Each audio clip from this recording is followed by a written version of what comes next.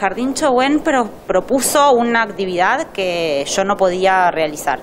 Eh, eran reuniones por Zoom. Yo hablé con las maestras y las maestras, este, básicamente las otras alternativas que yo proponía, eh, me las negaron completamente, prácticamente no pude ni expresarlas, eh, y la opción fue la reunión por Zoom. Yo aclaré que en el horario que se planteaban las reuniones no podía participar. finalizó el año y recibo un informe que dice que como la mamá se enojó y no estaba de acuerdo con las actividades, no se puede evaluar a la niña. Es un informe que aparentemente si vos lo lees parecería que va a repetir jardín de infantes. No sé cómo se maneja ni qué va a pasar. Pero más allá de eso, a mí me preocupa, me preocupa mucho el abandono eh, porque no se activó ningún protocolo ante, ante la negativa, porque tuvimos idas y vueltas y, yo estaba realmente sí enojada con la actitud de, las docentes, digamos, es una propuesta eh, y si no podés aceptar esa propuesta, digamos, no podés hacer eh, otra cosa. básicamente a mí lo que me parece es que se abandonó la niña. Yo corté la comunicación con el objetivo de que a mí me contactaran de alguna forma, me contactara gabinete, me contactara, no sé, la supervisión, alguien, porque tampoco podías comunicar con ellos porque era solamente vía nota. Eh, y nadie se contactó. La niña podría haberse muerto, que nadie se enteró.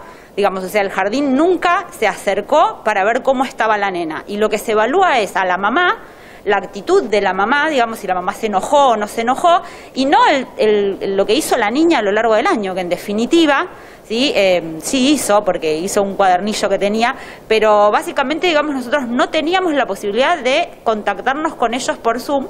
Eh, y ellos no plantearon otra alternativa, ¿sí? Y el informe, la verdad que a mí me resulta totalmente agresivo, o sea, es un informe de la mamá se enojó, pero las señas siguieron mandando la información, como que conste que nosotras hicimos la tarea, pero vos no la quisiste eh, recibir, básicamente, entonces la nena no hizo el jardín, es lo que evalúan ellos. ¿Cómo preparás justamente el próximo año para tu hija? Imagino que estarás buscando escuelas primarias y no sabes si la vas a poder inscribir o no. Sí, y mira, me preocupa para arrancar que si en el caso de que yo interpreto que no va a poder, eh, eh, no queda, de, no se, no se repite jardín, pero más allá de eso, a mí me preocupa eh, lo psicológico, ella y todos los nenes. Eh, yo le planteé a mi nena que fuera a hacer una actividad fuera del jardín en las vacaciones. Le dije, es un taller de una hora y media, ¿crees? Se largó a llorar y me dijo, no quiero estar lejos tuyo, me da miedo. Los nenes de jardín necesitan la socialización, necesitan ese espacio en el que separarse de la familia, compartir con el otro, que fue un poco lo que yo les ofrecí al jardín, ofreciéndoles mi espacio de trabajo, para que se encontraran una vez cada 15 días. Yo tengo habilitado acá para que entren 10 nenes desde 4 años en adelante, y me lo negaron por completo. Los nenes necesitan socializar, no hacer una carpeta, un cuadernillo en la casa. Esto era lo que yo quería que la escuela entendiera, mi punto de vista, y lo tomaron como una agresión, como que yo estaba en contra de ellos y que no aceptaba la, modalidad de trabajo de ellos. Eh, y lo que me preocupa es eso, que primero, si la voy a poder inscribir o no, si me darán los papeles o no, y segundo, ¿Cómo voy a hacer para que ella, en una instancia en la que ellos no tienen una adaptación como la del jardín, mi nena pueda empezar el, la primaria, por ejemplo? ¿Sí?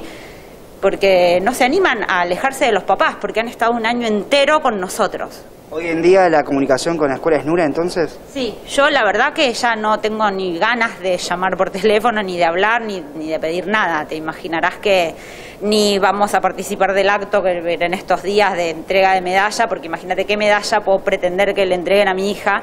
Eh, me parece que fue nada. En lo personal, eh, yo recalco esto: si es, si es una casa en la que un niño está siendo abusado, maltratado, golpeado, el jardín no se enteró Gracias a Dios la realidad de mi hija no es esa. Yo tomé la decisión de cortar la comunicación viendo que estaba hablando con un paredón. Eh, pero ¿y si la nena estaba siendo golpeada en su casa y ellos no la podían ver? ¿Cómo, cómo constatás vos que la nena está sana? Si no te acercás al hogar eh, en ese en el que perdiste la comunicación. La, tarea docente, la tarea del ministerio, ¿es solamente eso? Es decir, yo te mando información, fíjate cómo la haces. Esa, ese es el rol de la educación pública, es un horror. Si es así, es espantoso. ¿Pudiste hablar con otros padres eh, también que de compañeros de tu, de tu hija? Sí, justamente ayer o antes de ayer vino la mamá de otro nene eh, que me decía yo estoy re enojada, pero vamos a participar porque mi mamá y mi hermana y no sé qué, que me dicen que no, que cómo no van a participar del acto, pero la verdad que había eh, varios papás enojados.